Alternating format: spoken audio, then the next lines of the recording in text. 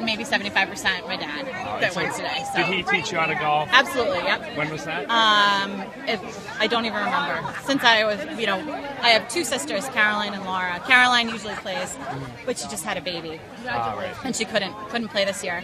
Um, but you know, we were all playing with little cut down, a little cut down seven iron with a wooden shaft when we were before we could remember.